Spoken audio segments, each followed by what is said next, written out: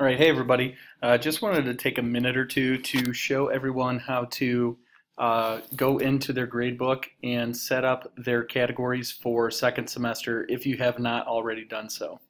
So you're going to need to log into Infinite Campus. Once you get there, you're going to go ahead and click on Gradebook. You're going to open up the Settings tab and click on Categories. You're going to have to do this for all of your categories, but you only have to do it one time. So if I click on one of my categories, I've already checked my sections for the A and B because I did it at the beginning of the school year.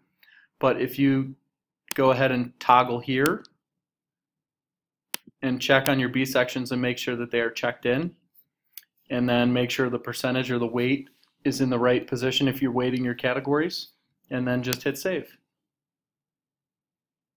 Again, you're going to need to do that for all your categories. Some of you may have set it up at the beginning of the year.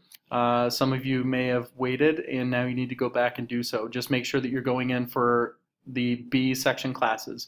If you have any questions, uh, don't hesitate to contact me and I'd be glad to come and help you out. Have a great day, everybody.